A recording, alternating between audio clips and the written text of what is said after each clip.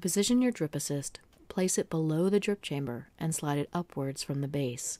The blue cam on the right will rotate downward and spring back to hold the device in place. Correct positioning is key. Use the orange dotted line as a reference point. Drops must be in free fall as they travel across that line.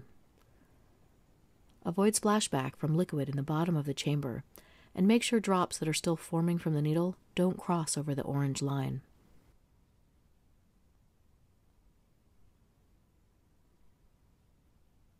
Turn on the device with the button on the far left. With the second button, select your drip factor. The Drip Assist accommodates 10, 15, 20, and 60 GTT sizes. The bottom left hand part of the screen will remind you of the drip factor you selected.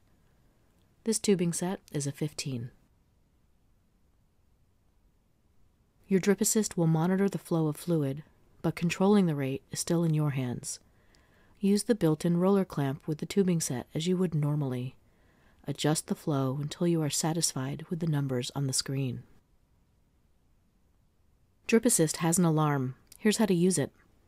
When you've reached a flow rate you're satisfied with, press the third button to activate the alarm. The bottom right hand part of the screen will remind you of the rate you selected. The alarm will sound if the rate changes significantly or if the flow stops for any reason.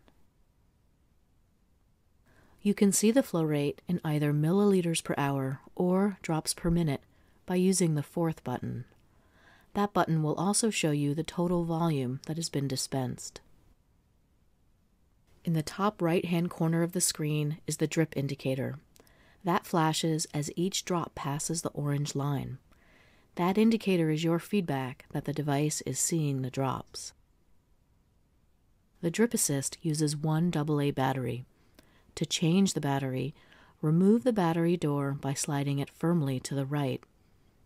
Replace the battery door by hooking the tabs on the back into the casing and sliding to the left. You will hear a click when the door is fastened.